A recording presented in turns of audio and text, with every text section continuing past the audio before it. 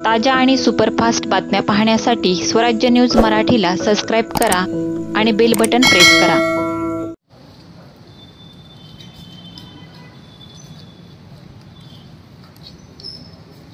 चल. एक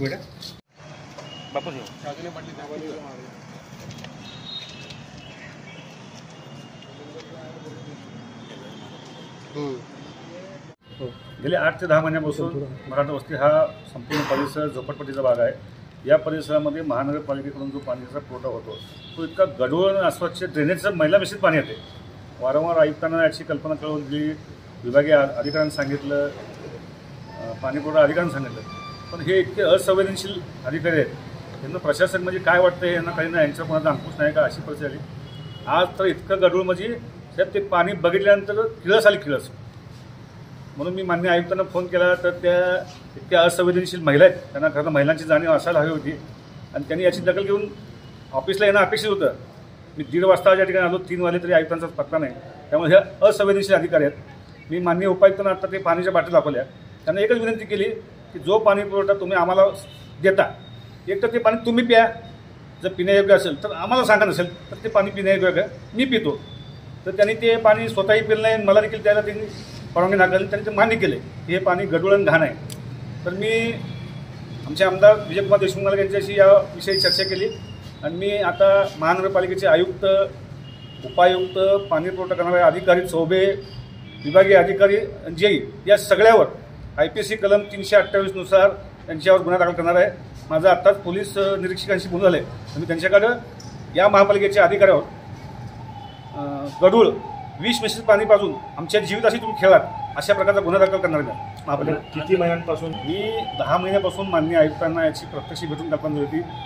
मागं पालकमंत्री चंद्रकांत दादा पाटील असताना देखील त्यांच्यासमोर हा विषय झाला होता. त्यावेळी देखील आयुक्तांनी सांगितलं मी यात लक्ष घालते पर्सनली पाहते. आणि तात्पुरती त्याची मलमपट्टी केली गेली तेवढा एकच पाणीपुरवठा सुरू झाला.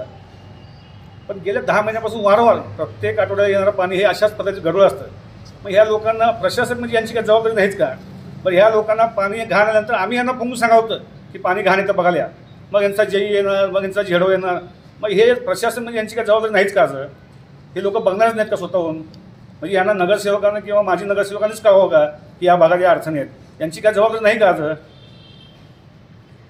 खरं तर वास्तविक पाहता मी या ठिकाणी मान्य आयुक्तांना भेटण्यासाठी आलो होतो. पण आयुक्तांनी मी साडेतीन वाजेपर्यंत येणार नाही. दरम्यान तुम्ही उपायुक्तांशी भेटा म्हणल्यानंतर मी उपायुक्त अं, यांची भेट घेतली.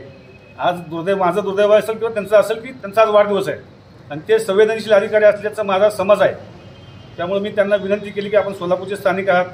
आपल्याला या शहराची जाण आहे. बाकीचे आलेले उपायुक्त फक्त आणि फक्त टेंडर एवढ्या पुरतं आलेत त्यामुळे तुम्ही सोलापूरचे आहात तुम्हाला त्याची जाण असली पाहिजे. आणि तुमच्याकडून ही अपेक्षा आहे की तुम्ही ते कराल आणि त्यामुळे त्यांना आज वाढदिवसाची ती मी भेट पण दिली की साहेब हे आमच्याकडून गढूळ तुम्ही स्वीकारावं. त्यांनी स्वीकारलं त्यांनी कबूल देखील केले. साहेब ह्यांच्या खालची कर्मचारी वर्गावर कुणाचाच अंकुश नाही? आयुक्त आणि ते चौबे या दोघांना फक्त आणि फक्त स्मार्ट सिटीची जी काही लाईन चालू आहे त्या लाईनवरच काम करणं एवढं एकच काम आहे. बाकी यांना सोलापूर शहराचं काय देणं घेणं नाही. आज शहराची परिस्थिती इतकी वाईट झाली आहे. घंटागाडी वेळेवर पोचत नाही. शहरात अस्वच्छतेचं वातावरण आहे. कोणाचंच लक्ष नाही. आणि आयुक्त इतक्या बेफिकर आहेत. इतक्या असंवेदनशील अधिकारी आयुक्त म्हणून मी पहिल्यांदा बघितले त्यामुळे मी माननीय आमदार विजयकुमार देशमुख अध्यक्षाशी चर्चा करून या आयुक्तांना इथून परत पाठवा अशी मागणी करणार.